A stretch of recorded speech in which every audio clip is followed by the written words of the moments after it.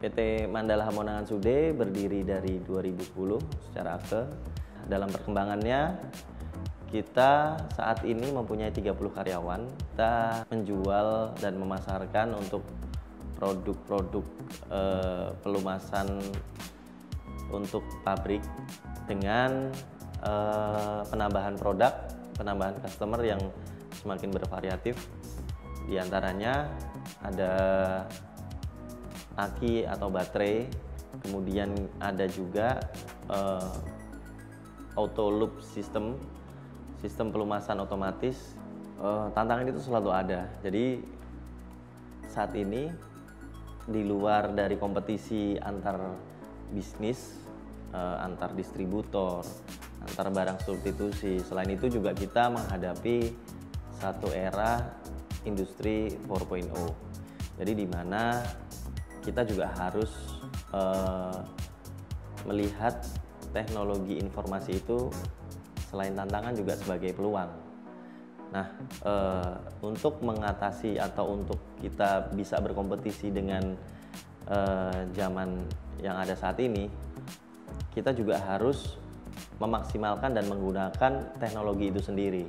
Kita melihat adanya uh, perkembangan itu kita bisa hadapi apabila dari sisi internal bisnis prosesnya sendiri sudah berjalan sesuai standar dan rapi seperti itu. Akhirnya yang mendorong kita juga mengambil semacam sertifikasi. Dalam hal ini kita ngambil ISO ada 9001 ada 14001 nah jadi memang eh, kita pengen ada sebuah standar yang bisa dilihat dan diakui oleh internasional yang akan terlihat juga dari sisi supplier ataupun customer kita. Dari sisi sustainability kita, PT Mandala Samonangan Sude itu selalu uh, menginginkan untuk menjual atau memasarkan produk yang berkualitas.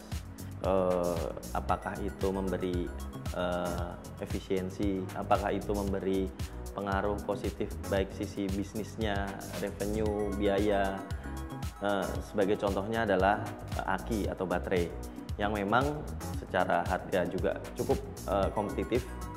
Jadi saya nggak bilang produk kita murah, tapi dari sisi harga kompetitif itu kita bisa mendapatkan sebuah aki atau baterai yang berkualitas dari sisi lifetime, yang di mana efeknya adalah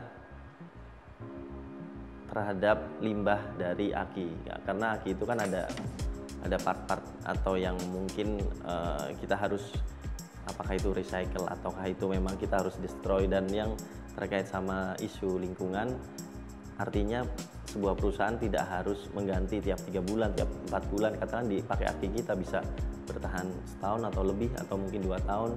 PT Mandala Monangan Sude uh, sudah bekerja sama dengan DBS sejak awal tahun 2017 uh, eh, apa namanya? Waktu itu salah satu pertimbangan dasar kita adalah DBS itu merupakan international bank dan memang dari PT Mandala Hamonangan Sude sendiri kita banyak bertransaksi atau banyak bekerja sama dengan eh, perusahaan-perusahaan internasional. Dari supplier kita juga dari ada dari Belanda, dari Amerika, dari China, dari Singapura dan lain-lain. Ada beberapa customer kita yang kita juga ada ekspor yang memang ada di negara lain. Gitu. Jadi kita melihat eh, pasti ada eh, benefit yang bisa kita ambil apabila kita banking dengan international bank. Kita sendiri aktif atau mungkin uh, karena main bank kita pakai DBS jadi kita cukup aktif menggunakan internet banking dari DBS apa namanya ideal ya. Jadi dari sisi selain bertransaksi kita juga menggunakan apa namanya pembayaran pembayaran uh, pajak. Habis itu kita transfer uh, TT kira-kira transfer ke luar negeri juga kita menggunakan uh, internet banking. Kemudian kita juga ada deal falas lewat internet banking juga. Selain itu, kita juga dapat fasilitas modal kerja dari DBS dan ada trade uh, finance trade facility dari DBS semacam ada LC uh, apa namanya bank garansi seperti itu semakin improve dari sistem udah hampir hampir sangat jarang saya menemukan ada error ataupun kesalahan sistem di sistem internet bankingnya itu sendiri. Jadi uh, awal kita uh, menjalin kerjasama dengan DBS itu kan salah satunya kita dapat tambahan modal kerja.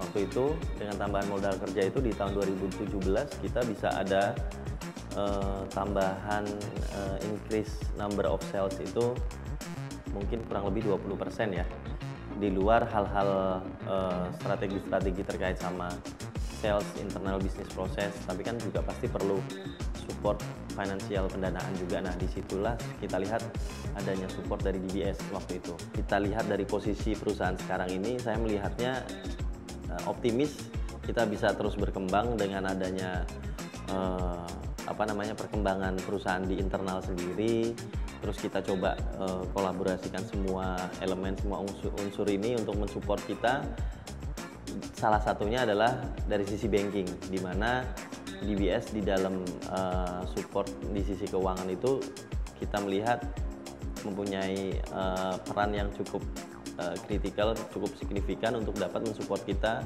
dapat achieve di lima tahun atau 10 tahun ke depan ini.